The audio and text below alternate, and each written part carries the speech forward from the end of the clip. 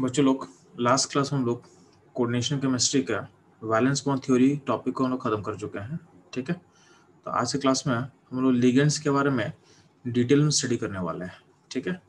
अभी तक आप लोगों को बस इतना पता था कि लिगेंड होता क्या है, ठीक है? बट लिगेंड का को फर्दर क्लासीफाई किया गया है तो हम लोग का क्लास का स्टार्टिंग टॉपिक यही रहेगा कि लिगेंड्स क्या होता है और लिगेंड का क्लासिफिकेशन किस बेसिस पे किया गया है, ठीक है?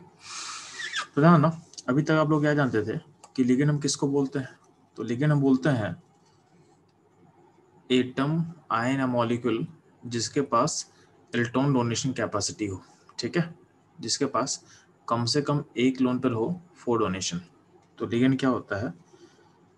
लिगेंड आयन या मॉलिक्यूल होता है, which have which have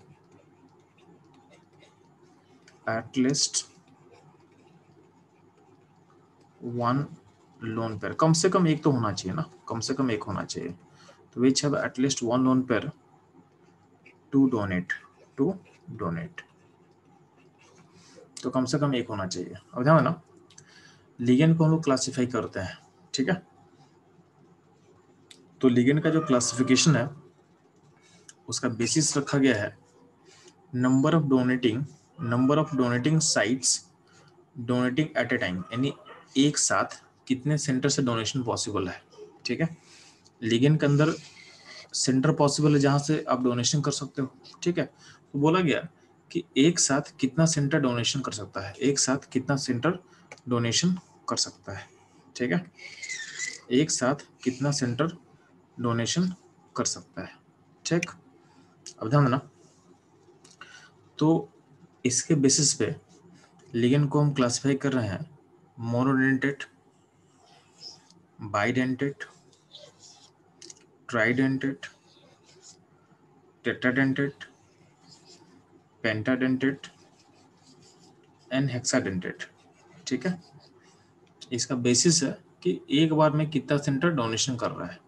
तो मोनोडेंटेड का मतलब होता है कि मॉलिक्यूल में एक ही सेंटर है जो आपको एट ए टाइम देगा। ठीक है? मॉलिक्यूल में एक ही सेंटर है, जो एट ए टाइम क्या होगा? आपका डोनेशन करेगा। ठीक है? उसको बोलते हैं मोनोडेंटेड उसको बोलते हैं हम लोग मोनोडेंटेड ठीक है? फॉर एग्ज़ाम्पल अभी तक हम लोग जितना भी लिगेंड पढ़े हैं ना, अभी तक हम आपको जितना भी लिगेंड बताया है, सारा एग्ज़ाम्पल था मोनोडेंटेड का। All are example of monodentate ठीक है? तो मोनोडेंटेड किसको बोलेंगे? तो जिसके पास एक ही सेंटर हो, जहाँ से डोनेशन पॉसिबल है। ठीक है? अब ध्यान देना कभी कभी आपको लगेगा जैसे मान ले कि एस है तो एस में वाटर पे दो लोन पे आपको दिख रहा है। तो एक चीज़ ध्यान देना कभी भी सिंगल सेंटर से दो लोन पर कभी नहीं जाएगा। ये चीज़ दिमाग सेंटर कर रखना कि सिंग, सिंगल सेंटर जैसे यहाँ पे ओ पे दो लोन पर है इस दोनों लोन पर को ऑक्सीजन डोनेट नहीं कर सकता है। तो एक चीज़ दिमाग सेट कर लो कि single centre single centre can only can only donate one lone pair तो सिंगल सेंटर से हमेशा एक ही लोन पे लोन पेयर क्या होगा? डोनेशन होगा। ठीक है? जैसे आप ऑक्सीजन के दो लोन पर आपको दिख रहा है but O centre single centre है तो ओ सेंटर से कभी भी दो लोन पर डोनेट नहीं होगा। उसमें एट मैक्स कितना डोनेशन होगा? तो मैक्सिमम डोनेशन एक ही लोन पर होगा। उसको दो मत कर देना। ठीक है? तो सिंगल सेंटर से क्या होगा? हमेशा एक ही लोन पर जा सकता है। बात समझ में ठीक है? उसके अलावा अगर मान लेते हैं कि अगर आपका दो सेंटर मान लेते हैं। ठीक है? तो दो सेंटर है और दोनों अलग अलग है। तो जैसे मान ली एग्ज़ाम्पल आपको लेते हैं। ठीक है? दो सेंटर का एग्ज़ाम्पल मैं ले रहा हूँ आपके लिए। ध्यान देना।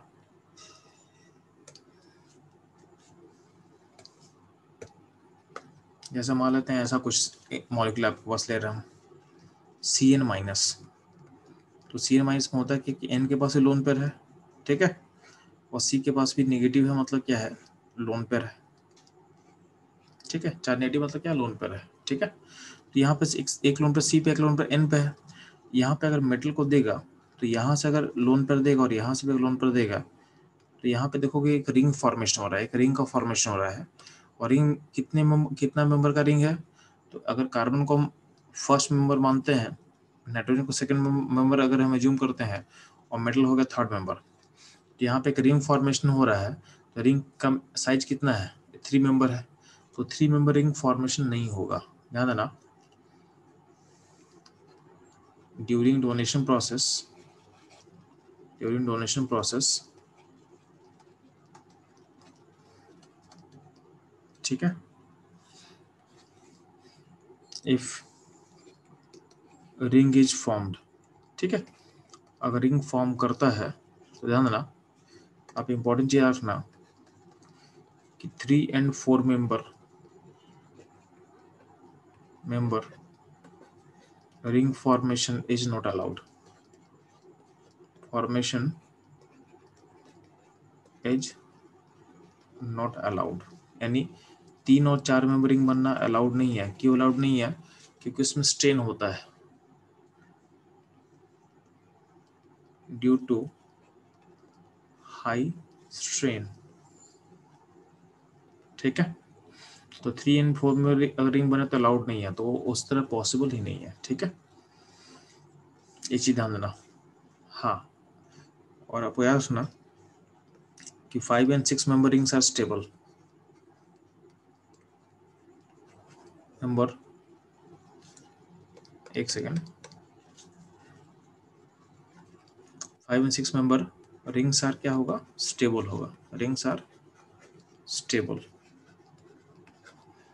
तो स्टेबल हो तो बनेगा, ठीक है? पर three and four members rings are क्या? अनस्टेबल है तो क्या होगा? उसका बनना क्या अलाउड नहीं है। तो अगर हम बोलेंगे सी सी एन में दो सेंटर है तो दोनों देगा क्या? तो दोनों नहीं देगा, क्योंकि दोनों देने से क्या होगा? रिंग बनेगा।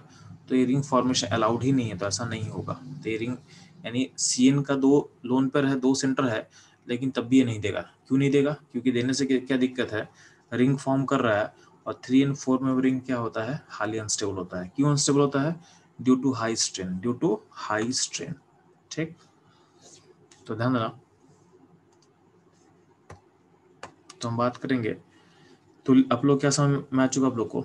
कि लिगेंड का लिगेंड का, एक ही सेंटर एक सेंटर से एक ही लोन पे रहेगा ठीक है? तो अगर लिगेंड में एक ही सेंटर होगा तो उसको हम बोलते हैं मोनोडेंटेड लिगेंड, ठीक? तो मोडेड मोडेंटेड लिगेंड में होता क्या है कि एक एट ए टाइम क्या होगा सिंगल सेंटर डोनेशन करता है। तो अभी तक जितना भी हम लोग लिगेंड्स का लिस्ट अभी तक पढ़ चुके हैं, वो सारा का सारा इस कैटेगरी में ही बिलोंग करेगा, ठीक है? अब हम लोग का, हम लोग बात कर रहे हैं कि नया टाइप का लिगेंड का, जिसको हम बोल रहे हैं बाइडेंटेड लिगेंड क्या हो रहा है? बोल रहे हैं बाइडेंटेड लिगेंड अब ध्यान देना बाइडेंटेड लिगेंड किसको बोलेंगे? तो जिसके पास दो सेंटर होगा डोनेशन का, और बहुत दोनों सेंटर जो है, दोनों डोनेट करेगा एक साथ। तो टू सेंटर ऑफ़ डोनेशन बहुत डोनेटिंग साइमल्टेनियसली यानी दोनों सेंटर से डोनेशन एक साथ आएगा। ठीक है? For example C S two C S two N S two N S two ठीक है? एलिगेंट हो गया। C S two N S two C S two N S two ठीक है? इसका नाम होता है इथिलीन डायमिन इथिलीन डायमिन ठीक है? इसको शॉर्ट में, छोटे में हम लोग बोलते हैं ई e एन तो यहाँ जो ई e एन लिखा हुआ है ना, इसका शॉर्ट शॉर्ट नेम है। ठीक है? तो ई e एन का मतलब इथिलीन डायमिन फॉर्मूला क्या होता है? C S two N S two C S two N S two ठीक है? यहाँ पे एम जो है एम मेटल है, जिसको डोनेशन करने वाला है। तो यहाँ पे अगर कोई मेटल एम होगा, कोई मेटल अगर एम होगा तो उसको क्या होगा? ऊपर का एन भी करेगा और नीचे का भी एन करेगा। इन दोनों से, दोनों साइड से डोनेशन मिलेगा, ठीक है? तो इसमें दो सेंटर डोनेशन का और दोनों एक साथ डोनेशन कर सकता है। क्यों डोनेशन एक साथ? दोनों दोनों एक साथ क्यों कर सकता है? क्योंकि ध्यान ना इसमें रिंग इसमें जो रिंग का साइज़ है, कितना मेंबर रिंग बनने वाला है? इसमें देखोगे, इसमें जो आफ्टर डोनेशन के बाद जो रिंग फॉर्मेशन हो रहा है, वो रहा फाइव मेंबर रिंग बन रहा है। वो क्या हो रहा है? फाइव मेंबर रिंग का फॉर्मेशन हो रहा है, ठीक है? तो उसमें हमको दिक्कत नहीं है, उसमें हमको दिक्कत नहीं होगा, ठीक है?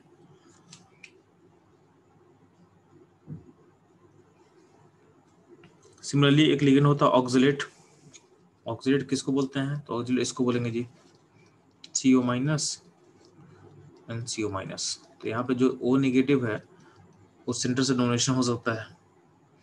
तो ऑक्सलेट लिगेंड भी क्या होता है? बाइडेंटेड क्योंकि इसमें देखो ध्यान देना जो दोनों नेगेटिव सेंटर है इन दो, जो दोनों ओ माइनस है वहाँ से मेटल को आप डोनेशन कर रहे हो मेटल को डोनेशन कर रहे हो ठीक है? और ऐसा इसलिए पॉसिबल है क्योंकि डोनेशन करने के बाद आपका रिंग का साइज़ कितना मेंबर का रिंग बन रहा है। तो रिंग का मेंबर बन रहा है फाइव मेंबर रिंग बन रहा है ठीक है? और ऑक्जेलेट का शॉर्ट शॉर्टकट में क्या नाम लिखते हैं हम लोग? ओ एक्स क्या लिखते हैं? ओ एक्स ठीक है? सिमिलरली एक लिगेंड होता है ग्लाइसिन का आनायनिक फॉर्म इसे शॉर्ट बोलते हैं ग्लाय ठीक है? तो इसमें ना यहाँ पे ओ माइनस सेंटर है और एक एन एस टू सेंटर है, ठीक है? ये दोनों सेंटर दे, देगा।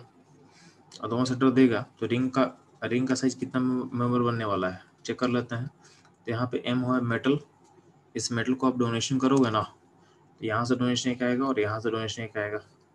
तो रिंग का साइज़ एक बार चेक कर लो, कितना मेंबर रिंग बन रहा है चीज़।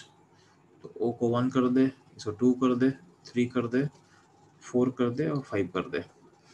तो इसका भी जो रिंग का साइज़ है कितना मेंबर मेंबर फॉर्म करेगा? फाइव मेंबर फॉर्म करेगा। तो हम लोग समझ चुके हैं कि फाइव मेंबरिंग क्या स्टेबल है एंड सिक्स मेंबरिंग भी स्टेबल है।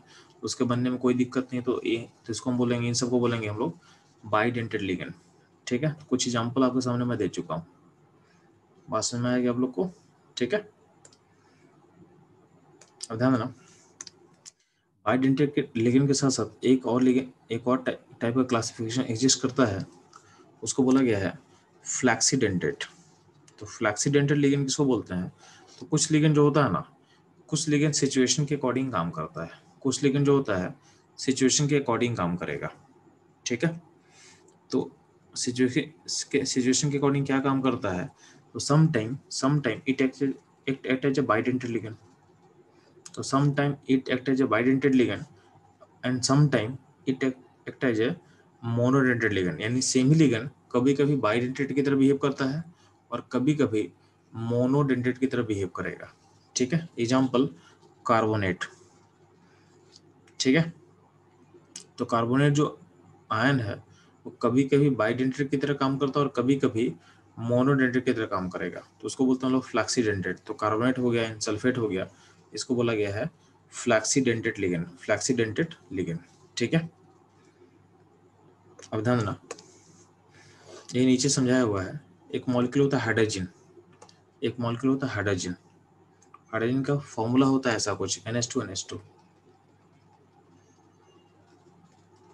ठीक है? ये फॉर्मूला होता है हाइड्रोजन का NH2NH2 अब इसको हम बाइडेंटेड लिगेंड बोलेंगे कि नहीं बोलेंगे तो बोला क्या गया, ध्यान देना अगर हम हाइड्रोजन के थ्रू अगर डोनेशन करते हैं ना तो यहाँ पे लेफ़्ट में दिखाया गया यहाँ पे। तो दोनों सेंटर अगर एक बार में अगर मेटल को देगा तो यहाँ रिंग का साइज़ कितना मेंबर रिंग बनेगा? तो को दिख रहा होगा, यहाँ पर जो रिंग का साइज़ हम बना रहे हैं, उसका साइज़ कितने मेंबर का है? तो थ्री मेंबर का है। कितने मेंबर का है? ये थ्री मेंबर का है। ठीक है? और हम पढ़ चुके हैं कि थ्री मेंबर बनना क्या है? मुश्किल बनता नहीं है। इसका मतलब जो हाइड्रोजन है, वो बाइडेंटी लेन की तरह काम नहीं करेगा।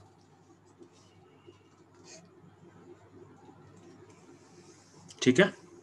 इसलिए बोला गया है कि hydrogen behave as a monodentate ligand not bidentate ये ध्यान देना आप लोग, ठीक है? बात समझ में आ गया? अब ध्यान देना, आपको दिख रहा है कि बाइडेंटेड लिगेंड में क्या हो रहा है? रिंग फॉर्मेशन होता है। क्या हो रहा है?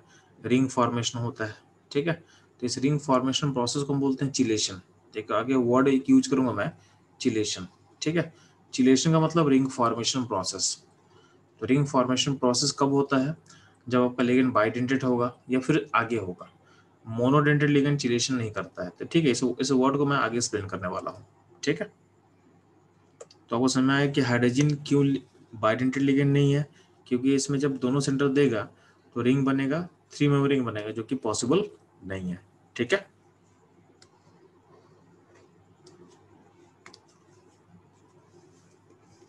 उदाहरण दोगे? कुछ, लेकिन ट्राइडेंटेड होता है। तो ट्राइडेंटेड का मतलब क्या होता है जी? जहाँ पे एक ही मॉलिक्यूल में तीन सेंटर होगा डोनेशन का। जैसे मान लीजिए एक मॉलिक्यूल हम ले रहे हैं, जहाँ पे N H two N H N H two है तो यहाँ से भी देगा, यहाँ से भी देगा और यहाँ से भी देगा। ठीक है? टेट्राडेंटेड किसको बोलते हैं हम लोग? तो टेट्राडेंटेड हम बोलेंगे, जहाँ पे एक ही मॉलिक्यूल में चार सेंटर होगा डोनेशन का। फॉर एग्ज़ाम्पल आपके सामने एग्ज़ाम्पल दिया हुआ है। तो यहाँ पे देखोगे, यहाँ पे चार एन सेंटर है जहाँ से डोनेशन होगा। ठीक है? अब गौर करना कि जितना डेंटेड लिगेंड है, उस, उसमें अगर मोनोडेंटेड के बाद हम देख रहे हैं तो बाई डेंटेड हो ट्राई डेंटेड हो या टेटाडेंटेड हो, सारे में कहीं ना कहीं रिंग फॉर्म कर रहा है। जैसे देखोगे ट्राइडेंटेड में कितना रिंग बन रहा है तो दो रिंग बन रहा है। एक रिंग इसको बोल सकते हो आप, एक रिंग इसको बोल सकते हो। ठीक है? सिमिलरली टेट्राडेंटेड में कितना रिंग फॉर्मेशन हो रहा है काउंट करके देख ले। एक रिंग ऊपर में है, ये सेकेंड रिंग है थर्ड रिंग है। तो इसमें तीन रिंग का फॉर्मेशन हो रहा है, इसमें तीन रिंग का फॉर्मेशन हो रहा है, ठीक है? तो बोला गया है कि जब भी कोई पॉलीडेंटेड लिगेंड होगा पॉली पॉली पॉलीडेंटेड हम किसको बोलेंगे? तो बाई ट्राई टेट्रा को हम बोलते हैं पॉलीडेंटेड लिगेंड ठीक है? तो जब भी आपके पास पॉलीडेंटेड लिगेंड होगा, यानी इसके पास मोर देन वन सेंटर होगा डोनेशन का, जो कि एक साथ दे रहा होगा तो आपके पास कहीं ना कहीं रिंग फॉर्मेशन होता है रिंग फॉर्म करता है। इस रिंग को हम बोलते हैं चिलेट रिंग इस रिंग को बोला, बोलते हैं चिलेट चिलेट रिंग और इस रिंग फॉर्मेशन प्रोसेस को बोला गया चिलेशन मैं फिर से रिपीट कर रहा हूँ कि जब भी आपके पास पॉलीडेंटेड लिगेंड होगा, ठीक है तो पॉलीडेंटेड लिगेंड हमेशा रिंग फॉर्म करेगा, ठीक है। इस रिंग को बोलते हैं चिलेट रिंग और इस रिंग फॉर्मेशन प्रोसेस को बोलते हैं चिलेशन प्रोसेस क्या बोलते हैं? चिलेशन प्रोसेस ठीक है।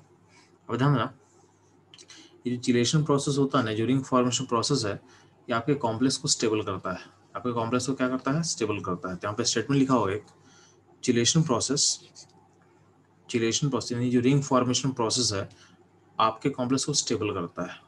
ठीक है? तो स्टेटमेंट क्या अपने पास है? कि chelation process max complex stable ठीक है? Max complex stable due to entropy factor due to entropy factor and ठीक है?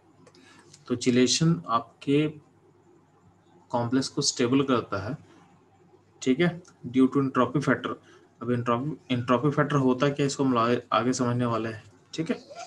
और बोला जा रहा है कि जो लिगेंड लिगेंड जो लिगेंड चिलेशन करने में कैपेबल होगा, उसको हम स्ट्रॉन्ग लिगेंड की तरह काउंट करेंगे। सिंपल सा बात है ना? कि जिस, अगर चिलेशन से कॉम्प्लेक्स स्टेबल हो रहा है, चिलेशन से कॉम्प्लेक्स स्टेबल हो रहा है तो जो लिगेंड चिलेशन करने में कैपेबल होगा, उसको हम स्ट्रॉन्ग लिगेंड में काउंट करेंगे, ठीक है? तो बाईडेंटेड हो ट्राईडेंटेड हो टेट्राडेंटेड हो, यानी जितना ही पॉलीडेंटेड लिगेंड आपके पास अवेलेबल होगा, सबको स्ट्रॉन्ग लिगेंड की तरह सोच सकते हो, ठीक है? सबको स्ट्रॉन्ग लिगेंड की तरह सोच सकते हो। तो स्ट्रॉन्ग लिगेंड के डिक्शनरी में कुछ नया लिगेंड आपके पास ऐड हो चुका है। पहले क्या क्या था स्ट्रॉन्ग तो पहले था सी ओ सी एन माइनस ये हमेशा स्ट्रॉन्ग था। अमोनिया को कब स्ट्रॉन्ग बोले थे आप? तो अमोनिया को स्ट्रॉन्ग हम बोले थे जब आपका सेंटर मेटल क्या होगा? कॉपर या कोबाल्ट होगा। तब अमोनिया स्ट्रॉन्ग होता है। ठीक है?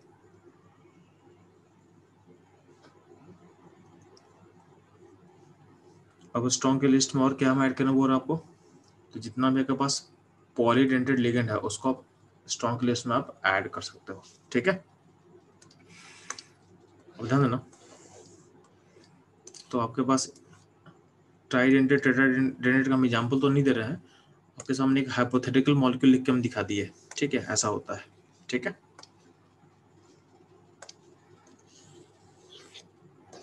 ठीक है? आपके पास एक हेक्साडेंटेड एक हेक्साडेंटेड लिगेंड का कोई एग्जांपल आपके पास आपको याद करना है। ठीक है पेंटाडेंट पेंटाडेंटेड का एग्जांपल हम नहीं दे रहे हैं। आपको एक मॉलिक्यूल याद रखना है जो कि हेक्साडेंटेड होता है, ठीक है? उस मॉलिक्यूल को हम बोलते हैं शॉर्ट में E D T A minus four hexadentate ligand का एग्जांपल होता है E D T A minus four ठीक है? इसका स्ट्रक्चर कैसे आपको याद करना है? तो स्ट्रक्चर याद करने के लिए आप क्या करना, पहले आप इसको याद कर लो। ई एन का फिगर ई एन का फिगर कैसा होता है जी? तो नीचे लिखा हुआ है, क्या लिखा हुआ है? C S two C S two N S two N S two ये होता है ई का फिगर अब इस ई के फिगर में से जितना भी हाइड्रोजन आपको दिख रहा है, यहाँ पे दो हाइड्रोजन दिख रहा है आपको और यहाँ पे दो हाइड्रोजन दिख रहा है। इस हाइड्रोजन को रिप्लेस करेंगे हम लोग सी एस इस ग्रुप से C S two C O minus इससे आपको रिप्लेस करना है। इससे आपको रिप्लेस करना है, ठीक है? तो ध्यान देना। तो हम सिंपल क्या कर रहे हैं? देखो C H two C H two यहाँ तक तो ई एन से आ गया। ठीक है, और एन के पास दो, जो दो हाइड्रोजन था, उस हाइड्रोजन को हटा के हम क्या कर दिए, उस हाइड्रोजन को हटा के हम C S two C O minus add कर दिए। ठीक है तो चार, दो हाइड्रोजन राइट में था और दो हाइड्रोजन लेफ़्ट वाले नाइट्रोजन पे था। सारे को हटा के हम क्या किए C S two C O minus add कर दिए। ठीक तो ये हो गया आपका E D T A minus four का स्ट्रक्चर स्ट्रक्चर बहुत इंपॉर्टेंट है। आपके पास कभी कभी एग्ज़ाम में स्ट्रक्चर ही पूछ देता आपसे। स्ट्रक्चर जो है बहुत इंपॉर्टेंट है। आपके एग्ज़ाम में आया हुआ क्वेश्चन है, ठीक है? तो ये ध्यान देना स्ट्रक्चर को आपको याद रखना है, ठीक है? अब इसमें से कौन कौन सा सेंटर आपके पास डोनेशन सेंटर होगा? यानी जो जो डोनेट करने वाला है। तो देखो, जहाँ जहाँ स्टार मार्क कर दिए हैं तो दोनों नाइट्रोजन देगा। फिर देखोगे, जितना भी ओ माइनस है, वो क्या होगा? वो भी आपके पास डोनेशन करने वाला है। तो ये छह सेंटर है, जो एक साथ देने वाला, जो एक साथ देने वाला है। ठीक है? ये ध्यान देना ये ध्यान ठीक है? देना, एक चीज़ और, एक चीज़ और यहाँ देखना कि नंबर ऑफ़ किसी भी लेगन में कितना रिंग फॉर्म करेगा। तो याद रखना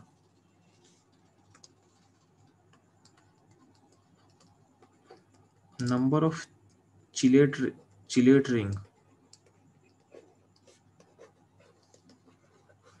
equal to होगा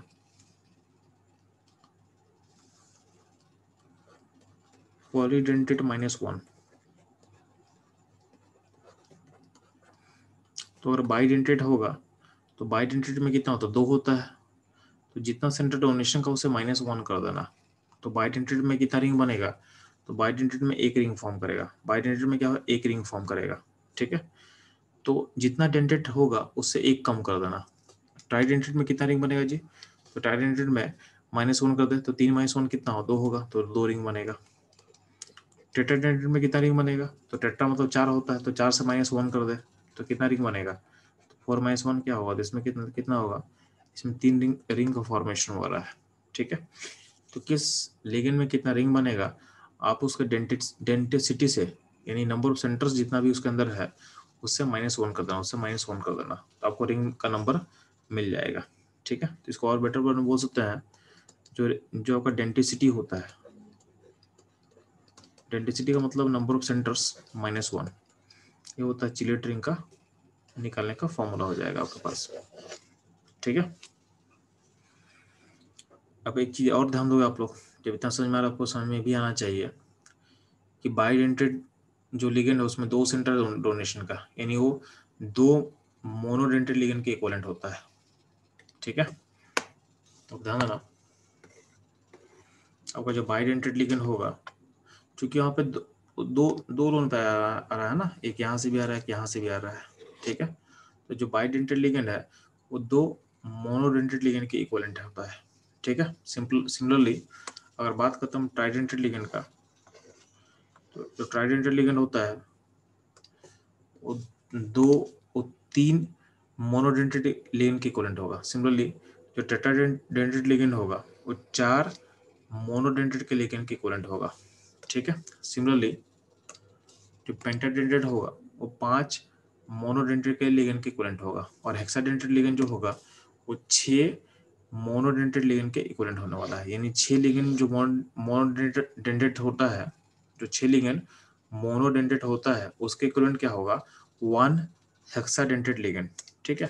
यानी वन हेक्साडेंटेड लिगेंड छह मोनोडेंटेड लिगेंड के इक्वलेंट होता है, ठीक है? ये ध्यान और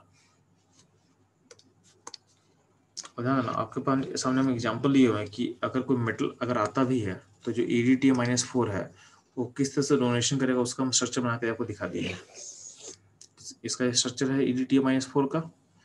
और नेक्स्ट पेज पे इलिगन अगर डोनेशन करेगा किसी मेटल को तो फिगर बना के दिखा, दिखाया हुआ आपके सामने। ठीक है?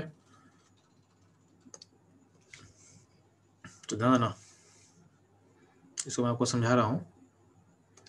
मान लो कि सेंटर पे मेटल रखा हुआ सेंटर पे मेटल है। ठीक है? तो ध्यान दोगे। यहाँ पे जो नाइट्रोजन है और यहाँ नाइट्रोजन है, ये दोनों ऐसे से डोंट किया। इसका एक जो C H two C O minus है, वो यहाँ से आके डोनेट कर रहा है। ये ओ माइनस इसका एक है C H two C O minus यहाँ से डोनेशन करने वाला है। ठीक है? एक ऊपर से करने वाला है। ऊपर वाले को मैं दिखा दे रहा हूँ पिंक कलर से। ऊपर से आने वाला है। और एक नीचे से आने वाला है नीचे से। नीचे से थोड़ा सही से नहीं दिखाया हुआ है। नीचे से ऐसे आना चाहिए था, ऐसे आएगा। ठीक है? तो इसको ऐसे थोड़ा सा आगे दिखा दिया तो इसको ऐसे सो सकते हो आप थोड़ी देर के लिए। ठीक है? यानी यहाँ जो ओ माइनस बना हुआ है इसको मैं हटा दे रहा हूँ। इसको मैं हटा के फिर से लिख दे रहा हूँ, ताकि आपको समझ में आ जाए कैसे बनने वाला है।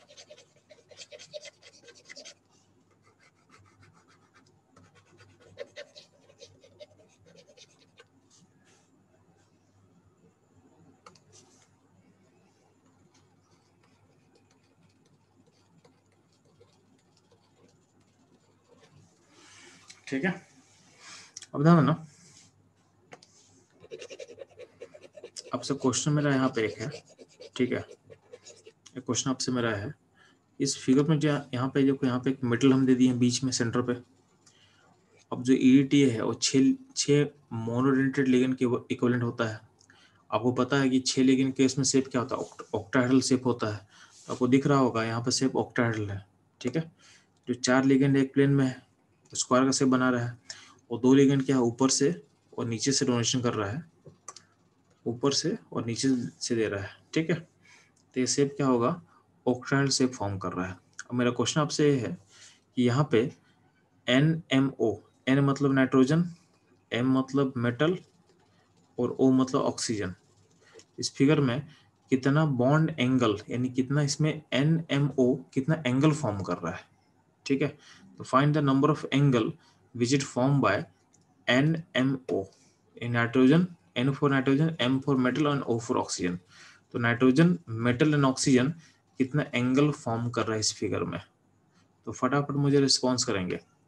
Number of angle form by N M and O जल्दी से इसका आंसर मुझे बताएँगे चलो आप लोग।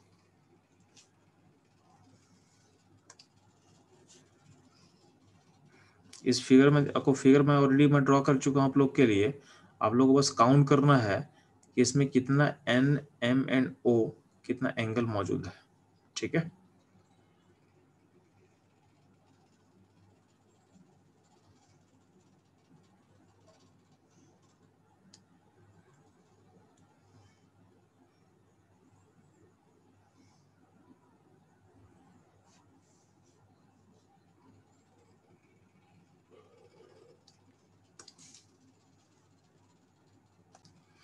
तो बच्चों लोग, मैं इस क्वेश्चन को बना रहा हूँ, ध्यान सुनना।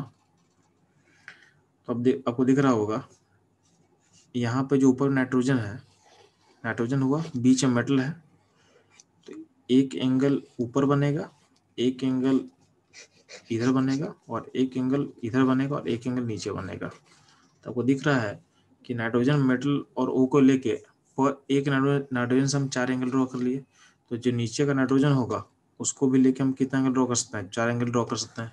तो total N M O angle कितना होगा? तो ये होगा आठ। कितना होगा? एट होगा। तो आपका आंसर आठ होना चाहिए। ठीक है? ये क्वेश्चन जे एडवांस में आ चुका है। ये क्वेश्चन जे एडवांस का पार्ट है। ठीक है? अब क्वेश्चन डिफ़िकल्ट क्यों होता मैं बता रहा हूँ आपको। क्योंकि जे एडवांस में फिगर बना के नहीं दिया हुआ था। जो मैं फिगर अपने में ड्रॉ कर दिया हूँ, ये फिगर उसमें ड्रॉ नहीं किया हुआ था। ठीक है? तो क्वेश्चन डिफ़िकल्ट इसलिए होता है क्योंकि फिगर ड्रॉ करना बहुत लोग के लिए चैलेंज होता है, ठीक है?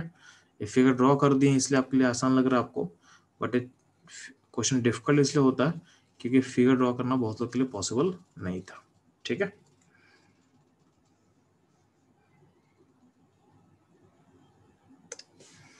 ध्यान देना।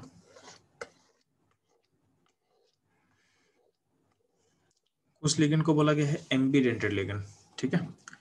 कुछ लिगन को बोला गया एम्बीडेंटेड लिगन एक इसको बोला गया देना। तो कभी कभी क्या होता है लिगन के पास दो सेंटर होता है डोनेशन का। लिगन के पास दो डोनेशन साइट होता है बट दोनों एक साथ दे नहीं पाता है। ठीक है? क्यों नहीं दे पाएगा? Due to steric factor due to steric factor example क्या है? सी माइनस तो सी माइनस ध्यान देना। सी माइनस में सी सेंटर भी है और एन सेंटर भी है। बट दोनों एक बार दे नहीं पाता, क्यों नहीं दे पाता है? क्योंकि क्या होता है जो रिंग बनेगा रिंग बनेगा थ्री मेंबर और आपको बता चुके हैं आपको कि थ्री मेंबर रिंग क्या होता है अनस्टेबल होता है फॉर्म नहीं करेगा, ठीक है? इसलिए क्या होता है सी एन माइनस में दो सेंटर है बट दोनों सेंटर एक साथ नहीं देगा। या तो सी सेंटर देगा, या तो एन सेंटर देगा, ठीक है? तो इस टाइप के लिगेंड को हम बोलते हैं एम्बी डेंटेड लिगेंड क्या बोलते हैं? एम्बी डेंटेड लिगेंड ठीक है? दो सेंटर है दोनों डोनेशन का बट दोनों कभी, दोनों एक साथ कभी नहीं देगा, ठीक है? रीजन क्लियर है due to steric factor due to steric factor for example अगला एग्ज़ाम्पल क्या है? तो एनओ टू माइनस अब ध्यान देना एन टू माइनस में क्या है? तो एन टू माइनस में दो सेंटर है। एक एन सेंटर है, और दूसरा क्या है? दूसरा है आपके पास ओ सेंटर दोनों एक साथ नहीं देगा, या तो एन देगा, या तो ओ देगा। सिमिलरली एक है एस सी एन माइनस तो यहाँ पे एक एन सेंटर है, एक सल्फ़र सेंटर है। ठीक है? तो सल्फ, या तो सल्फ़र देगा, या तो नाइट्रोजन देगा, या तो नाइट्रोजन देगा। दोनों एक साथ नहीं देगा। दोनों एक साथ देगा तो क्या होगा? फोर मेंबर रिंग फॉर्मेशन होगा, जो कि अनस्टेबल होता है, जो कि अनस्टेबल होता है। ठीक है? तो दोनों एक साथ नहीं देता है। यानी या तो एक, दोनों में से कोई एक देगा। ठीक है? तो इस इस तरह बोलते हैं लोग एम बी डेंटेड लिगेंड ठीक ध्यान देना। हम लोग बात किए थे। जितना लिगेंड का डेंटिसिटी बढ़ता है ना, यानी जो जिस लिगेंड में चिलेशन होगा, वो कॉम्प्लेक्स को स्टेबल करता है, वो कॉम्प्लेक्स को स्टेबल करता है। तो उसको उसको हम कैसे प्रूफ करेंगे? ध्यान देना, सुना, ध्यान सुना चीज़ को। तो मान लेते हैं कि पास एक मेटल है, जो कि छह लिगेंड को एक्सेप्ट कर सकता है। एक मेटल है, जो कि छह लिगेंड को एक्सेप्ट कर सकता है। तो अगर हम जूम कर रहे हैं कि छह का छह, अगर मोनोडेंटेड लिगेंड होगा तो क्या होगा? तो अगर मानते हैं यहाँ पे एल है एल है मोनोडेंटेड लिगेंड तो यहाँ पे छह लिगेंड एक्सेप्ट करें तो क्या होगा? कॉम्प्लेक्स बनेगा एम एल सिक्स अब जब एम कॉम्प्लेक्स का फॉर्मेशन हो रहा है तो ध्यान देना, इस प्रोसेस में आपका कितना मॉलिक्यूल लेफ़्ट में है तो लेफ़्ट में सात मॉलिक्यूल है, जो कि बन, जो बन रहा है, एक मॉलिक्यूल में कन्वर्ट हो रहा है। यानी सात सेवन इंटिटी सेवन इंटिटी खुद में बॉन्ड बना के वन इंटिटी में कन्वर्ट कर रहा है खुद को खुद को। वन इंटिटी में कन्वर्ट कर रहा है तो इसमें इंट्रोपी का जो चेंज होगा नेगेटिव होगा। क्योंकि जो नंबर ऑफ़ मॉलिक्यूल है डिक्रीज कर रहा है तो सेवन जो मॉलिक्यूल है, वो खुद को वन मॉलिक्यूल में कन्वर्ट कर रहा है तो इसमें जो इंट्रोपी चेंज होगा माइनस सिक्स होगा। ठीक है? और छह लिगन मिलकर कितना बॉन्ड बनाएगा? तो छह बॉन्ड बनाएगा। तो इन थर्पी चेंज के लिए हम डेल्टा एक्स का वर्ड यूज़ कर रहे हैं क्योंकि आपका बॉन्ड फॉर्मेशन में एनर्जी क्या होता है? रिलीज़ होता है। आपके बॉन्ड फॉर्मेशन में क्या होगा? एनर्जी क्या होगा? रिलीज़ होगा। तो डेल्टा एच का साइन क्या होगा? माइनस एक्स लेके चल रहा है। नेगेटिव मतलब एनर्जी रिलीज़ हुआ है, ठीक है? अगर मान लेते हैं कि जो छह का छह लिगेंड है, उसको अगर हम बाईडेंटेड लिगेंड से रिप्लेस करते हैं तो छः अगर हम हम मोनोडेंटेड लिगेंड को अगर हम बाईडेंटेड लिगेंड से अगर रिप्लेस करेंगे तो कितना लिगेंड यूज़ करना पड़ेगा मेरे को? तो तीन लिगेंड से मेरा काम हो जाएगा। बाईडेंटेड लिगेंड मतलब क्या होता है? तो एक बाईडेंटेड लिगेंड दो मोनोडेंटेड लिगेंड के इक्विवेलेंट होता है, ठीक है? तो छह लिगेंड छह मोनोडेंटेड लिगेंड के लिए हम लोग बाईडेंटेड लिगेंड कितना लेंगे? तो तीन लेंगे। तो अगर बाईडेंटेड लिगेंड लेंगे तो क्या होगा? एक मेटल तीन बाईडेंटेड लिगेंड से कंबाइन करेगा तो एम बनेगा। इसमें आपका अल्टीमेटली कितना मॉलिक्यूल यूज़ हो रहा है? तो चार मॉलिक्यूल खुद को कंबाइन करके एक मॉलिक्यूल में कन्वर्ट कर रहा है तो एंट्रोपी चेंज क्या होगा? माइनस थ्री होगा। क्या होगा? माइनस थ्री होगा। अगर हम ट्राइडेंटेड लिगेंड यूज़ करते हैं तो एक ट्राइडेंटेड लिगेंड तीन मोनोडेंटेड लिगेंड की इक्विवेलेंट होता है। तो छह मोनोडेंटेड लिगेंड के लिए हम दो ट्राइडेंटेड लिगेंड का यूज़ करेंगे। तो क्या बनेगा? एम टी टू क्या बनेगा? एम जी टू तो इसमें क्या होगा? एंट्रोपी क्या? माइनस टू होगा। यहाँ पे एम एच है। ठीक है? तो अगला क्या होगा? एम एच इसमें क्या होता है? तो अगर हम हेक्साडेंटेड लिगेंड यूज़ कर रहे हैं तो एक हेक्सा एक हेक्साडेंटेड लिगेंड छः मोनो छः मोनोडेंटेड लिगेंड के इक्वलेंट होगा तो यहाँ पे एक हेक्साडेंटेड लिगेंड का हम यूज़ करेंगे। यहाँ पे अल्टीमेटली क्या फॉर्म करेगा? एम एच फॉर्म करेगा। ठीक? तो यहाँ पे ड्रॉपिक चेंज क्या दिख रहा है? तो आपको दो मॉलिक्यूल मिलके एक बन रहा है तो अल्टीमेटली माइनस वन दिख रहा है आपको।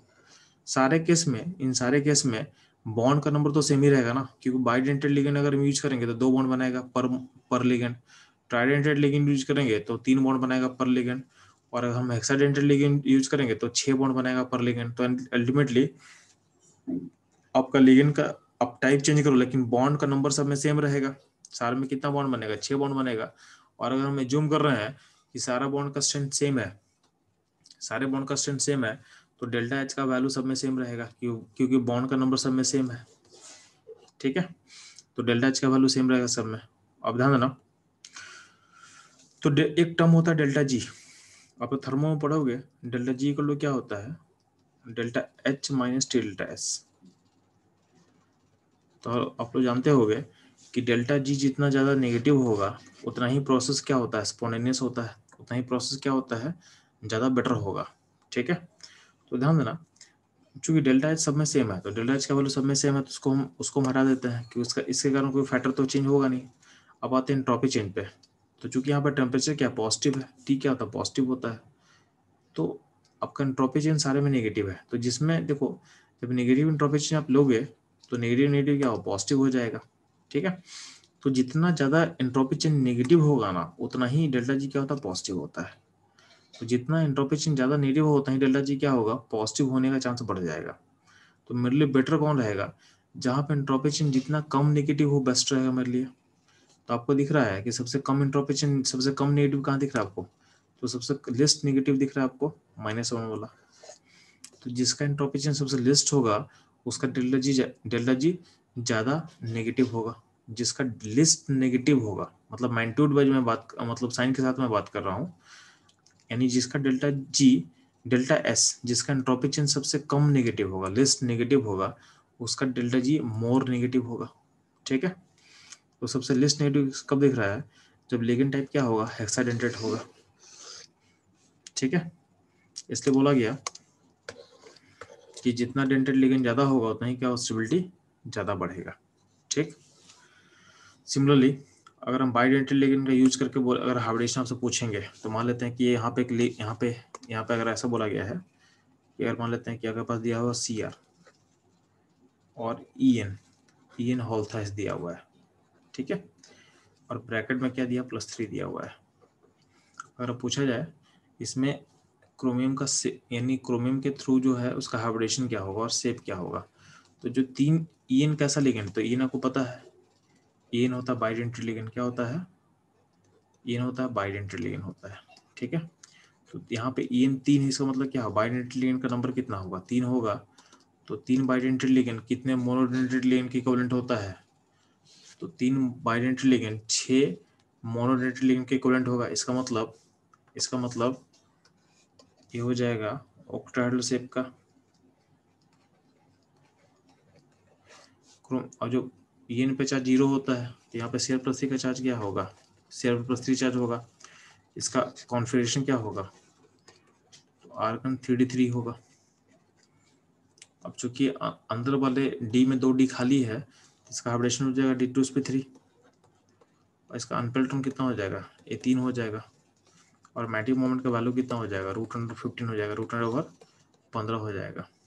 ठीक है? सिमिलरली ध्यान देना, एक कॉम्प्लेक्स लिखा हुआ सी ओ सीओ मतलब कोबाल्ट क्या है? Cobalt CO E D T A bracket बचा माइनस वन है। तो ध्यान ना आपको पता है कि ई डी जो E D T A ligand होता है ई डी टी ए का चार्ज कितना होता है? तो चार्ज माइनस फोर होता है। क्या होता है चार्ज माइनस फोर होता है। तो माइनस फोर चार्ज अगर लोगे तो कोबाल्ट पे चार्ज कितना आएगा? प्लस थ्री आएगा। प्लस थ्री मतलब डी सी कैसे और ई डी टी लिगन क्या है? हेक्साडेंटेड लिगेंड है।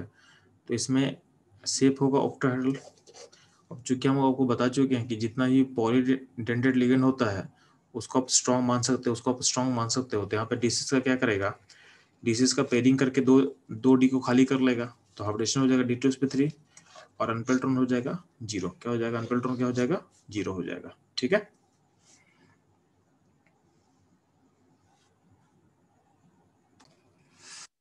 तो बच्चों लोग हम लोग लिगेंड के टाइप के बारे में डिस्कशन कर चुके हैं, ठीक है?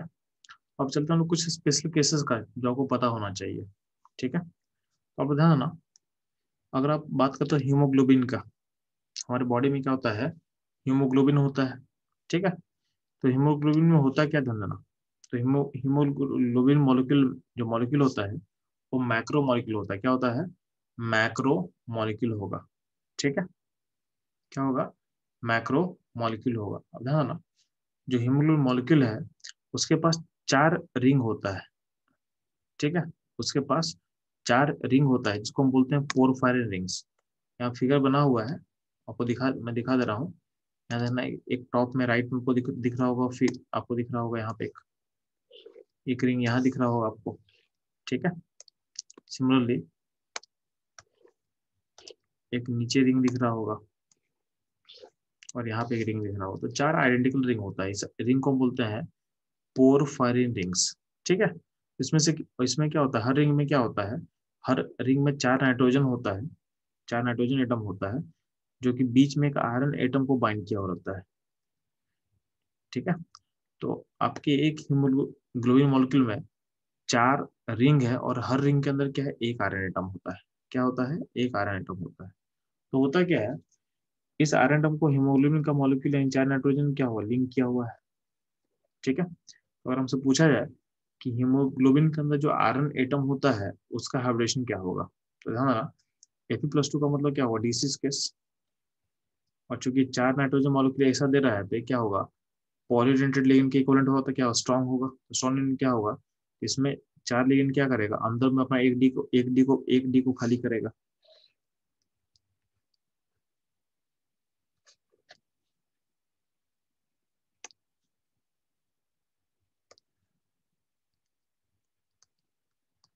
तो ऐसा कुछ था। लेकिन हम क्या बोल रहे हैं कि अगर जब भी पॉलीडेंटेड लिगेंड होता है तो स्ट्रॉन्ग की तरह बिहेव करता है। तो चार लिगेंड में एक डी खाली चाहिए तो एक डी खाली करे तो क्या होगा? तो ध्यान देना। एक डी खाली करेगा अपना।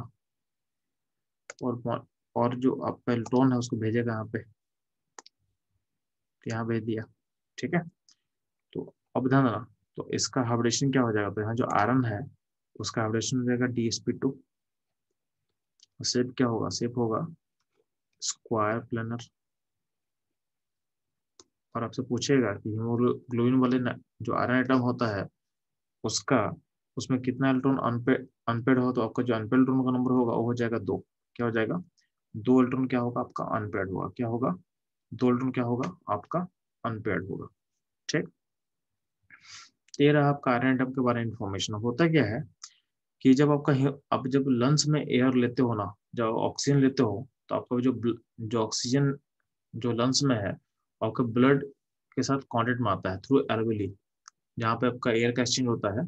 वहाँ पे आपका ब्लड में जो हीमोग्लो जो हीमोग्लोबिन का जो पार्टिकल्स होगा, उसमें जो आयरन आइटम है, ये अपने ऊपर नीचे, यानी जो ओटू मॉलिक्यूल रहता है, उस ओटू मॉलिक्यूल में लोन पेयर होता है। तो उस लोन पेयर को यूज़ करके वो बाइंडिंग होता है इस एफी के साथ। यानी यहाँ पे जो ऑक्सीजन है, वो आपके एफी के साथ बाइंड करता है। ठीक है? ऊपर नीचे से बाइंड करेगा। तो सारे एफी एटम में क्या होता है? इससे बाइंडिंग होता है। ठीक है? और ये बाइंडिंग करके क्या होगा? ये आपके ब्लड में, या आपके ब्लड में सेल्स के पास इसको ट्रांसपोर्ट करेगा। ठीक? इस तरह से आपका ऑक्सीजन का ट्रांसपोर्ट सिस्टम काम करता है आपके बॉडी में। ठीक है? ये होता है आपका हीमोग्लोबिन के बारे में इंफॉर्मेशन अब होता क्या है कि जो O2 लिगेंड है ना, जो O2 लिगेंड है, वो वीक लिगेंड होता है। क्या होता है? वीक लिगेंड होता है। दिस इज़ वीक लिगेंड तो वीक लिगेंड का जो बॉन्डिंग है, वो वीक कमज़ोर होता है। तो क्या होता है, जितना इजीली वो बाइंड करेगा, उतना इजीली क्या होगा ब्रेक करेगा। तो लंग्स में बाइंड करेगा आपके एफ़ प्लस टू के साथ और आपके सेल्स के पास जब पहुंचेगा ये तो सेल्स में क्या होगा ब्रेक करके सेल्स के पास ओ चला जाएगा, जिसका आप यूज़ करते हो रेस्पायरेशन में यानी आपके आपके बॉडी में जो भी आपका फ़ूड को डिकम्पोज करते हो, वहाँ पे क्या होता है ऑक्सीडेशन प्रोसेस होता है और यहाँ पे जो O2 होगा, वो क्या होता है, वहाँ पे कंज्यूम करता है। क्या करता है कंज्यूम कर जाता है, ठीक है? अब ध्यान ना कभी कभी क्या होता है कि आप कार्बन मोनोसाइड को अगर आप इनहेल करते हो, क्या करते हो? कार्बन मोनोसाइड को अगर इनहेल करोगे तो जो कार्बन मोनोक्साइड होता है, वो बहुत स्ट्रॉन्ग लिगेंड होता है। क्या होता है? स्ट्रॉन्ग लिगेंड होता है। ठीक है? तो अगर आपके बॉडी में अगर कार्बन मोनोक्साइड आप अगर कहीं से भी आप इनहेल कर लोगे तो होता क्या है कि जो सीओ है, आपके, वो क्या करता है? वो आके इस एफी के साथ बाइंड कर लेगा। अब चूँकि सीओ बहुत स्ट्रॉन्ग लेगा तो इसका बाइंडिंग बहुत स्ट्रॉन्ग होगा। इसका बाइंडिंग नाइट्रोजन से भी स्ट्रॉन्गर होता है। तो ये वंस अगर बाइंड कर लेगा आपके हीमोग्लोबिन में तो फिर इसका बॉन्ड टूटता नहीं है, इसका बॉन्ड ब्रेक नहीं करता है। यानी इसका जो बॉन्डिंग है, वो होता है इरिवर्सिबल यानी एक बार फॉर्म करेगा तो दोबारा ब्रेक नहीं करेगा। तो जब भी आप सीओ गैस का पॉइजनिंग होता है बॉडी में तो होता है सीओ गैस करता क्या है? आपका जो जो बाइंडिंग साइट है, जो ऑक्सीजन मॉलिक्यूल जिसको बाइंड करना चाहता है, उस साइट्स पे आपका सीओ मॉलिक्यूल मॉलिक्यूल का बाइंडिंग हो जाएगा। ठीक है? जिस साइट्स पे आपका ओ टू मॉलिक्यूल बाइंड करना था, वहाँ पे क्या होगा? सीओ मॉलिक्यूल का बाइंडिंग हो जाएगा। तो वंस अगर सीओ मॉलिक्यूल का बाइंडिंग हो गया तो अब यहाँ पे ओ टू बाइंड तो करेगा नहीं। तो ओ टू बाइंड करेगा नहीं तो क्या होता है कि आपका बॉडी का जो ओ टू का ट्रांसपोर्ट सिस्टम है पूरा खत्म हो जाता है। इसलिए क्या होता है? सडन सडन डेथ हो जाता है। किसी भी लिविंग स्पीसीज का सडन डेथ हो जाता है। इसलिए सीओ गैस पॉइजनस होता है हमारे बॉडी के लिए। सीओ गैस पॉइजनस कैसे होता है आपको समझ में आ चुका है। ठीक है? सीओ गैस करता क्या है? तो कार्बन मोनोक्साइड करता क्या आपके बॉडी का जो ऑक्सीजन कैरिंग कैपेसिटी है, उसको खत्म कर देता है। ठीक है? कैसे खत्म करता है? आपको समझ में आ चुका है। ठीक है?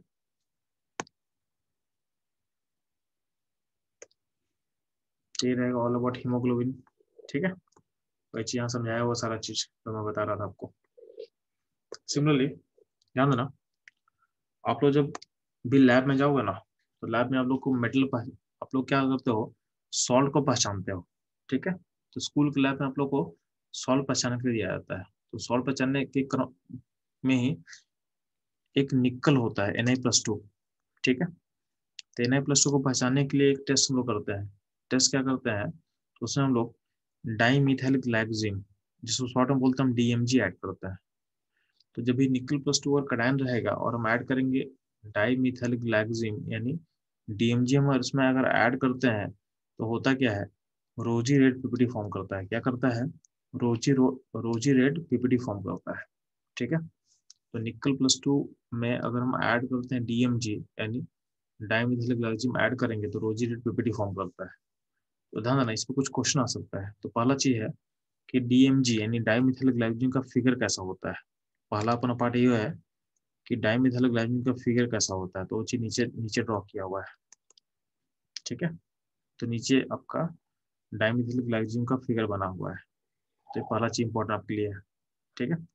अब जब जब इसको आप लोगे ना निकल प्लस में डालोगे तो देखो इवेंट कैसा होता है, ध्यान देना यहाँ पे जो नाइट्रोजन सेंटर है ना, जहाँ पे एन सेंटर जहाँ पे लोन पेयर है, वहाँ वो लिगिन की तरह काम करता है। तो अल्टीमेटली होता क्या है कि निकल प्लस टू को दो डीएमजी मॉलिक्यूल का जो एन सेंटर है, वो इलेक्ट्रॉन देगा। यानी यहाँ से एक देगा, एक यहाँ से देगा। यानी एक मॉलिक्यूल का दो सेंटर हुआ और दूसरे मॉलिक्यूल का दो सेंटर हुआ। तो ये चार, यानी चार सेंटर्स को मिल गया, ठीक है? दो डीएमजी मॉलिक्यूल्स का जो चार इन सेंटर है, उससे क्या होगा? उसको डोनेशन मिल रहा है, ठीक? अब ध्यान ना यहाँ पे जो ओ OH है, यहाँ पे अगर ओ OH लेंगे तो राइट वाले यानी दूसरे मॉलिक्यूल का जो ऊपर में यहाँ पे ओ है तो उसको ओ माइनस लेना है, यानी यहाँ का एच हटा देना। सिमिलरली नीचे में यहाँ पे ओ OH कर देना तो यहाँ इधर वाले मॉलिक्यूल का जो ओ है, उसको ओ पे माइनस कर देना। ऐसा हो जाता है। अब यहाँ देना तो यहाँ पे यहाँ पे इस ओ एच और यहाँ पे ओ माइनस में एच बॉन्ड होता है। एच बॉन्ड हो गया। ठीक है? सिमिलरली यहाँ पे ओ माइनस और यहाँ पे एच में एच बॉन्डिंग है। यानी ऊपर नीचे का एच बॉन्डिंग है। ठीक है? तो आपसे क्वेश्चन पूछता है कि इस इस कॉम्प्लेक्स में जो रोजी पीपीटी है, उसमें कितना रिंग बना हुआ है? तो आपको दिखेगा, दो रिंग है चिलेशन कारण, ये देखो पहला और दूसरा, ये दोनों रिंग है चिलेशन कारण।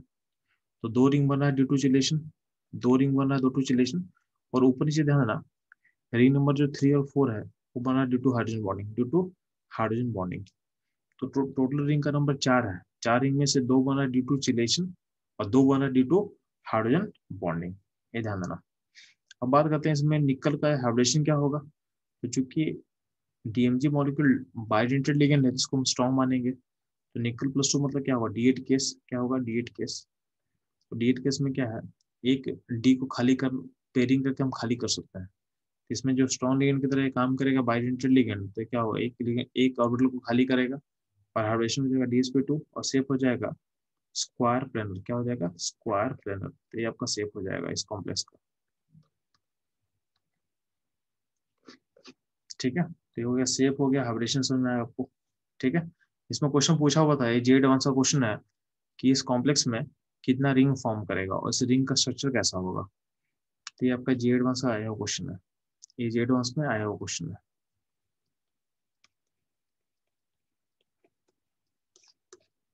ठीक है? ये रहा निकल एंड डीएमजी का कॉम्प्लेक्स डीएमजी का फुल फॉर्म क्या होता है? डाइमिथाइल ग्लाइकोजिन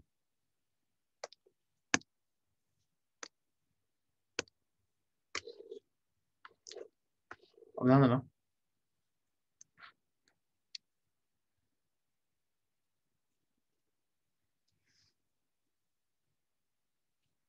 यहाँ तक ध्यान देना ये जो कॉम्प्लेक्स है आप लोग पढ़ चुके कॉम्प्लेक्स का जो आउटर पार्ट है वही वही क्या होता है एनएच करता है इस कॉम्प्लेक्स का हम बात करेंगे इस कॉम्प्लेक्स में क्या पार्ट बाहर निकलेगा देखो बाहर क्या है बाहर सील है तो बाहर सील निकलेगा और इस कॉम्प्लेक्स में बाहर क्या बी आर है तो बीआर निकलेगा ठीक है तो अगर हम ए जी ऐड करेंगे तो ए जी इस कॉम्प्लेक्स में ऐड करेंगे तो क्या होगा? इसमें ए जी सील से कंबाइन करेगा और आपको पता है कि ए जी सील का पीपीडी क्या कलर क्या होता है? तो ए जी सील एक पीपीडी फॉर्म करता है, इसका कलर कलर क्या होता है? व्हाइट ये व्हाइट पीपीडी फॉर्म करेगा। सिमिलरली इस कॉम्प्लेक्स में क्या होगा? ए जी बी आर का साथ कंबाइन करेगा। तो ए जी बी आर का पीपीडी का कलर पीपीडी कलर क्या होता है? येलो होता है तो येलो पीपीडी फॉर्म करेगा। ठीक है? ये ध्यान देना। सिमिलर ध्यान देना कॉपर अपने कॉम्प्लेक्स में प्लस वन स्टेट में एग्जिस्ट करता है। कॉपर अपने कॉम्प्लेक्स में तो copper in complex in complex generally exist as plus one state ठीक है? ध्यान ना इसका कोई एक्सेप्शन होगा बट जनरली क्या होता है प्लस वन होता है फॉर एग्ज़ाम्पल देखो कॉपर में अगर क्लोरीन लिगेंड होगा तो उसमें प्लस टू इसमें कॉपर का प्लस टू होता है बट अगर आयोडीन होगा तो उसमें प्लस टू वाला एग्जिस्ट नहीं करता है। क्यों नहीं करता है? क्योंकि जब आयोडीन होगा तो कॉपर का जो प्लस टू स्टेट है आयोडीन को ऑक्सीडाइज कर देता है। और खुद जगह प्लस वन स्टेट में, और आयोडीन को आई टू में भेज देगा। कहाँ भेज देगा? ऑक्सीडाइज करके में भेज देगा। तो कॉपर क्या होता है? आयोडीन को ऑक्सीडाइज करके खुद जाएगा प्लस वन स्टेट में और टू भेज के कॉम्प्लेक्स में इस फॉर्म में चला जाएगा। यानी इस फॉर्म में जो कॉम्प्लेक्स है, वो एग्जिस्ट नहीं करेगा। यानी कॉम्प्लेक्स एग्जिस्ट नहीं करेगा। ठीक है? क्लोरीन का ऑक्सीडेशन पॉसिबल नहीं है। क्लोरीन को कॉपर प्लस टू ऑक्सीडाइज नहीं कर पाएगा। इसलिए आपका क्लोरीन केस में कॉपर का प्लस टू एग्जिस्ट करता है। यानी ये कॉम्प्लेक्स एग्जिस्ट करेगा, क्योंकि उसमें क्लोरीन का ऑक्सीडेशन पॉसिबल नहीं होता है, ठीक है? सिमिलर ध्यान देना।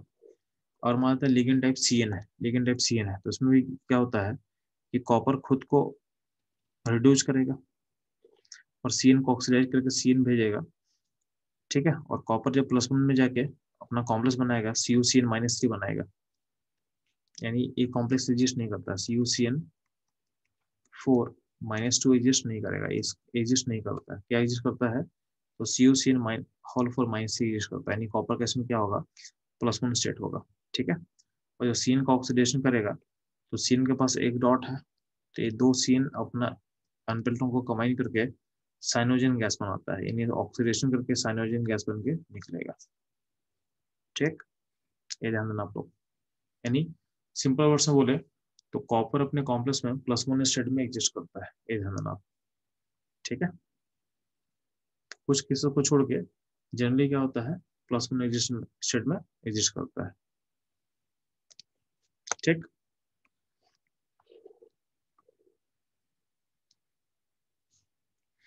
यहाँ पे क्वेश्चन दिया हुआ है इस कॉम्प्लेक्स में क्रोमियम का ऑक्सीडेशन स्टेट क्या होगा? और मैडी मोमेंट का वैल्यू क्या दिया वन पॉइंट सेवन थ्री दिया हुआ है। क्वेश्चन ऑलरेडी हम लोग कर चुके हैं।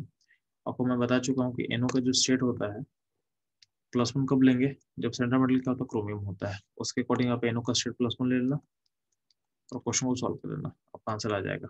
आपका आंसर आ जाएगा। ये क्वेश्चन आपका J advance and J main दोनों में आ चुका है। ये क्वेश्चन बहुत इंपॉर्टेंट है। आपका JEE main and J advance दोनों में एग्ज़ाम आ चुका है। पर एडवांस में आया हुआ था। और रिसेंट में जे में आया हुआ है। रिसेंट में ही ये जे मेन में आ चुका है क्वेश्चन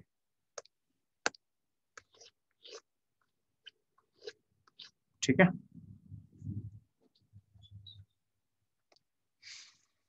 तो चलो हम लोग नेक्स्ट मूव करते हैं। वर्नर थ्योरी वर्नर थ्योरी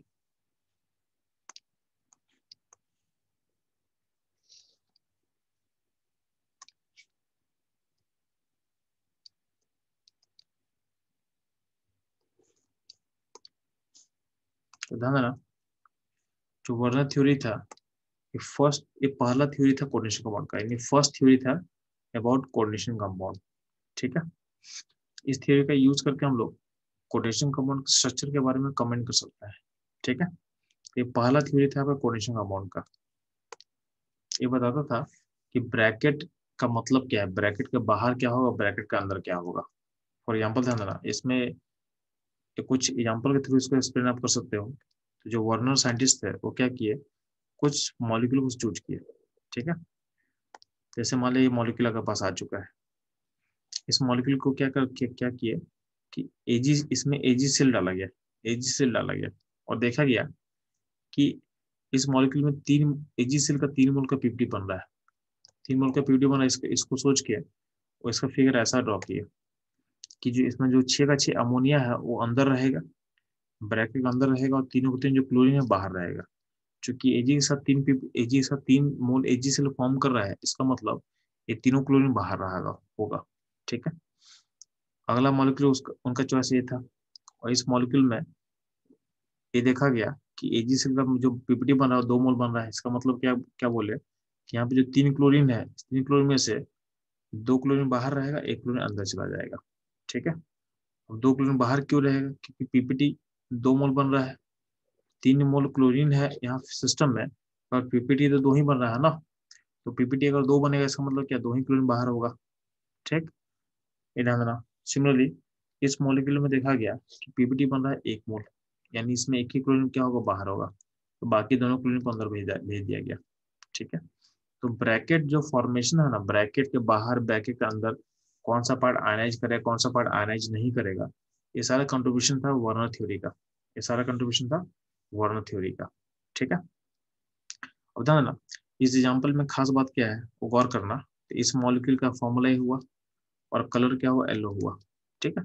जो टेबल ड्रॉ किया हुआ है, आपके एनसीआरटी का सेकंड पेज में होगा। चेक करना एनसीआरटी आपको सेकंड पेज में आपको मिल जाएगा। ठीक? इस इस मॉलिक्यूल का का फॉर्मूला ऐसा होता है हम लोग। ठीक है?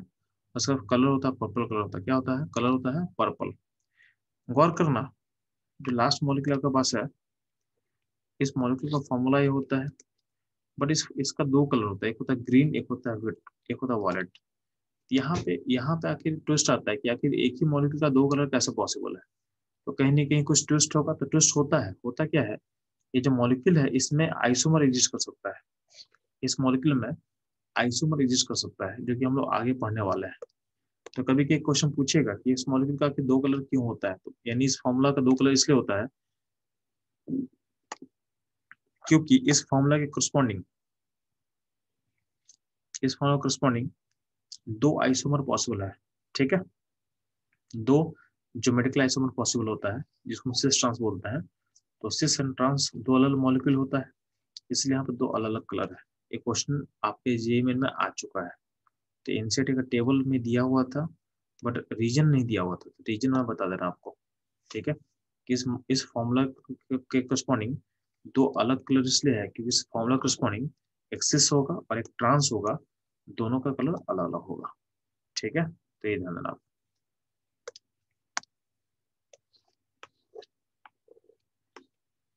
अब आपके सामने कुछ क्वेश्चन दिया हो, इसको आपको सॉल्व करना है। ठीक है।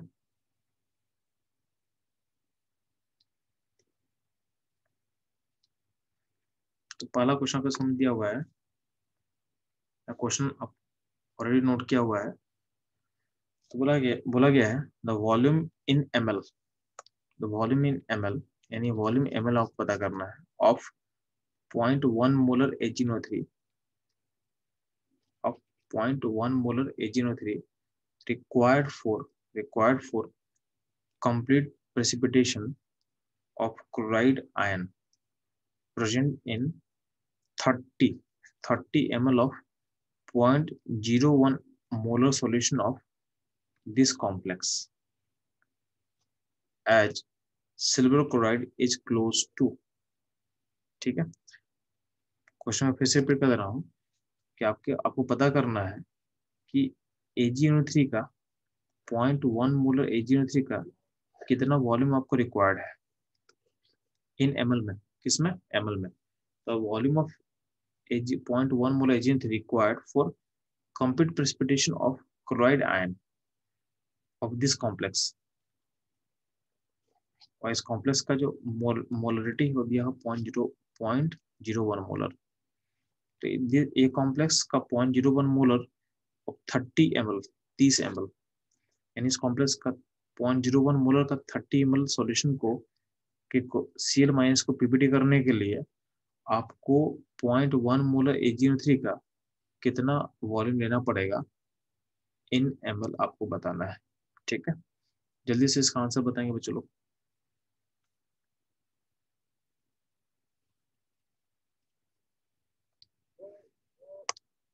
बच्चों सॉल्व कैसे करना ध्यान देना। इस कॉम्प्लेक्स को फोकस करो। इस कॉम्प्लेक्स में ध्यान देना इस कॉम्प्लेक्स में दो सी आयन है जो बाहर निकल सकता है। इस कॉम्प्लेक्स का पहले मिलीमोल पता करते हैं। इस कॉम्प्लेक्स का थर्टी एम है और वॉल्यूम है पॉइंट ज़ीरो वन मोलर इसका मिलीमोल कितना हो जाएगा? इसका मिलीमोल हो जाएगा पॉइंट थ्री मिलीमोल तो कॉम्प्लेक्स का पॉइंट थ्री मिलीमोल में आपका सील का कितना मोल होगा? जो बाहर निकल सकता है तो हो जाएगा पॉइंट सिक्स मिलीमोल क्या हो जाएगा? पॉइंट सिक्स मिलीमोल इस कॉम्प्लेक्स में चूँकि दो सील बाहर निकल सकता है तो पॉइंट थ्री मिलीमोल से पॉइंट सिक्स मिलीमोल जो होगा, बाहर निकल सकता है, ठीक है? Point six millimole chlorine ion के लिए आपको एजी का भी क्या होना चाहिए? पॉइंट सिक्स मिलीमोल होना चाहिए। यानी एजी का भी जो आयन का नंबर होगा, वो पॉइंट सिक्स मिलीमोल होना चाहिए। अब एजी का जो आयन का जो मोलिटी है, पॉइंट वन है तो वॉल्यूम को अगर वी मान लेते हैं, वॉल्यूम को अगर वी मान लेंगे तो point one molar solution into V equal to point six होना चाहिए तो जो वॉल्यूम इक्वल टू क्या होगा तो वॉल्यूम इक्वल टू क्या होगा? सिक्स एम होगा। तो अगर वॉल्यूम सिक्स एम होगा, यानी आपका जो आंसर होगा होगा सिक्स एम ठीक है?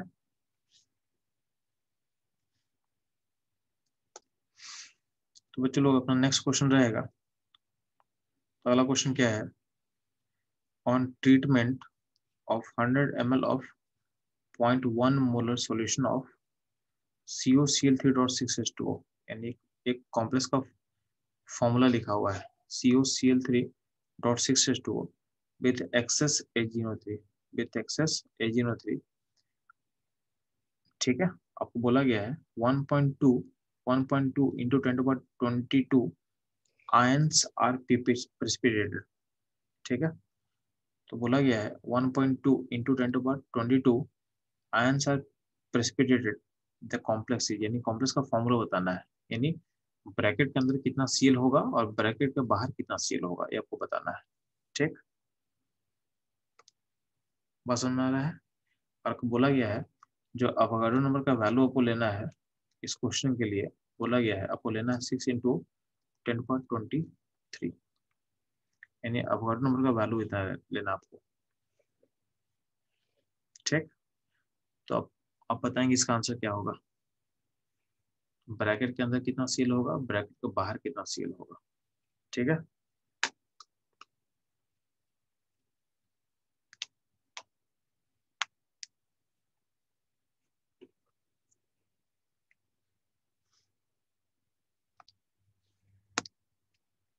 बच्चों, इस क्वेश्चन को आप लोग सॉल्व कैसे करोगे? ध्यान देना। देना। कॉम्प्लेक्स का मिनिमल कितना हो निकाल लेते हैं पहले हम लोग? तो कॉम्प्लेक्स का मिलीमोल आपको दिख रहा होगा। तो 100 M L into point one कर दे तो 10 मिलीमोल है कॉम्प्लेक्स का, ठीक है? तो कॉम्प्लेक्स का 10 मिलीमोल में कितना मोल होगा? तो मोल निकलने के लिए हम लोग क्या करेंगे? 10 मिलीमोल को डिवाइड करेंगे थाउज़ेंड से तो मोल निकल के आ जाएगा पॉइंट ज़ीरो वन मोल। इतना मोल हो इतना मोल होगा कॉम्प्लेक्स का? अब कितना आयन पीपीटी किया ध्यान देना तो इस आयन को मोल में निकालते हैं। मोल में निकालने के लिए हम लोग क्या करेंगे? डिवाइड कर देंगे अवोगाड्रो नंबर से।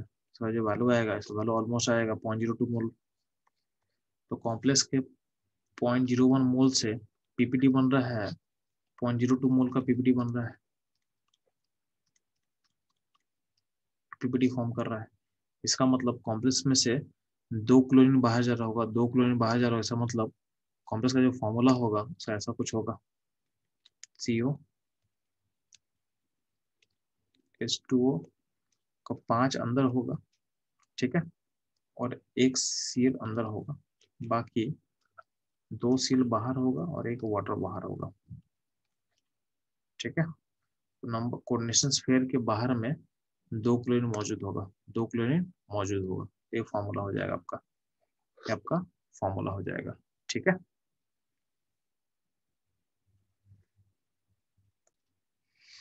तो बच्चों लोग वर्न थ्योरी का वर्न थ्योरी पे जो लास्ट क्वेश्चन है, उसको देख लेते हैं हम लोग। इस क्वेश्चन में क्या बोला हुआ है? आपके पास एक मिक्सर है, एक मिक्सचर है, ठीक है मिक्सचर एक्स है, जिसमें क्या बोला गया है? Point zero two mole of this complex इस कॉम्प्लेक्स के बाहर में ब्रोमीन है, ठीक है? And point zero two point zero two mole of this complex इसके बाहर में सल्फेट है, ठीक है? Was prepared in two litre of solution यानी आपका जो मिक्सचर एक्स है, उसमें क्या है? Point zero two mole point zero two mole दो कॉम्प्लेक्स है, जिसको दो, जिसके दो, जिसको दो लीटर के सॉल्यूशन में बनाया गया है। अब बोला गया है, इस मिक्सचर का एक लीटर लेते हैं। इस मिक्सचर का एक लीटर और एक लीटर ठीक है? इन दो लीटर ऑफ़ सोल्यूशन को एक लीटर में बांटा गया है। और बोला गया है कि एक लीटर में अगर हम डालेंगे एजी एजी थ्री एक्सेस में तो मेरे को वाई मिलता है। और हम मानते हैं, हम बोला गया है कि हम B S L two excess में डालेंगे, अगर अगले वाले सोल्यूशन में तो हमको जेड मिलता है। तो बोला गया है number of mole of Y in Z निकालना हमको। Number of moles of Y in Z पता करना है। अब ध्यान देना। इसको ऐसे समझ। आपके पास एक्स एक मिक्सचर था। आपके पास एक्स एक मिक्सचर है। इसमें ब्रोमीन वाला कॉम्प्लेक्स पॉइंट ज़ीरो टू था और सल्फेट वाला complex point zero two point zero two था। और इसका इसका सॉल्यूशन था दो दो लीटर का। सॉल्यूशन था दो लीटर का। इसको हम one litre one one litre में ब्रेक कर दिए हैं। तो वन लीटर ब्रेक करेंगे तो दोनों में कॉम्प्लेक्स का जो अमाउंट है पॉइंट उसका मोल कितना हो जाएगा? Point zero one point zero one हो जाएगा। क्योंकि पॉइंट ज़ीरो टू और point zero point zero two था दो लीटर में तो वन लीटर में क्या होगा? Point zero one point zero one हो चुका होगा।